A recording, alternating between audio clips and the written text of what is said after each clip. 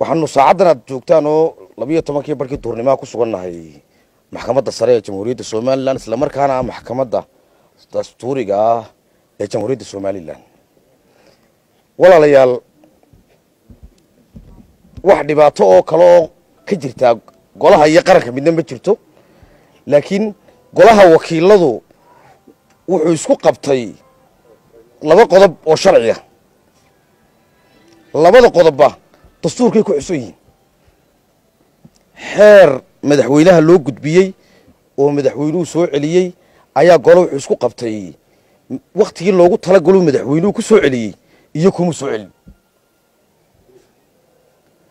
Qayb naga mida golaha wakiiladu waxay leedahay waxaa loo raacayaa soo celinta madaxweynaha qodobka toddobiyo toddobaatanaad ee dastuurka jamhuuriyadda somalilan lix iyo afartan mudane oo halkan jooga oo guddoomiye ku-xigeenkii golaha wakiiladu ku jiraana waxay qabaan waxaa loo raacayaa qodobka toddobaatan iyo siddeed ee dastuurkaa loo raacayaa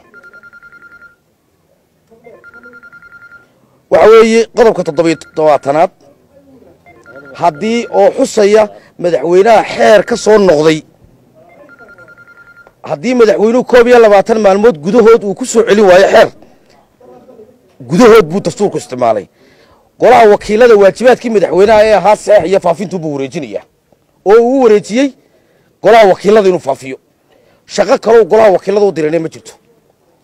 Halka haddii uu madaxweynuhu ku soo celiyo koob iyo labaatan maalmood gudahood qodobka toddobaatan iyo sideed uu xusayo in goluhu uu soo jeedinta madaxweynaha cod u qaadayo taasoo dhigaysa inuu golo wakiiladu soo jeedintii madaxweynaha ku raaco ama uu ku diido. Xeerkaa konton iyo saddex maalmood buu madaxweynuhu haystay. Wuxuu ku sababeeyey madaxweynuhu inuu jiray. Golayaasha qaranku vacuum ma galaan. Secretariatka jooga xeerka marka la soo celiyana waxa rasiib gareeya oo qabta secretariatka qabta. Sidoo kale guddoomiyihii hore ee golaha wakiiladu waa kii guddoomiyaha cusub ee golaha wakiilada xilka ku wareejiyey. Shacabkaanu saa ugu iftiiminaynaa in arrinka laysku haya oo point of low yahay. The politics. Golaha wakiiladu ma qabta doorashooyinka. Ma sameeyo timelineka doorashooyinka komishinka doorashooyinkaas kale mas'uuliyadda qabashada doorashooyinkana waxay saaran tahay madaxweynaha jamhuuriyadda.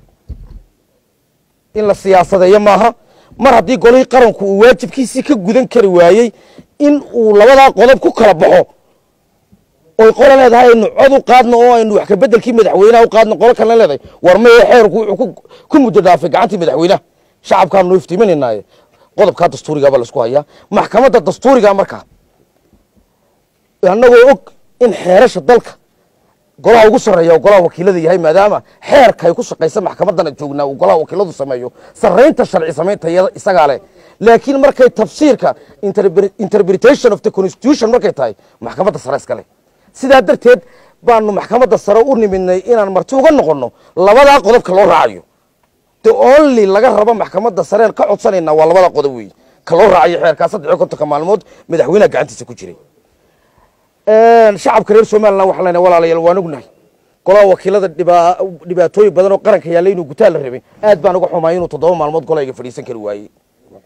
Waa aad baan uga xunnay mas'uuliyaddaana cid baan saaranay ciddii aan saaranay inay gudato sideeda u gudataabahd waxa weeye waxaanu halkana keenay maanta maxamed eber ka keenay inuu golihii idiin shaqeeyo oo lagaga doodo biyola'aanta abaarta maxaa la yidhahdaa sicir bararka oo golihii furnaadaabaheed maanta si golihii shaqadiisa u bilaabo annaguna aanaan iskugu dul dhimanin golihii dhexdiisiyo wixii maalintii dhaweed ka dhacay aanu dib uga dhicin. Baan halkanoo nimidnay inaan sharciga ku kala baxno waayo dastuurkaa faraya golaha wakiiladu siduu xildhibaan meydhana sheegay inuu qodobka siddeed iyo soddonaad howlgudashadiisa ku saleeyo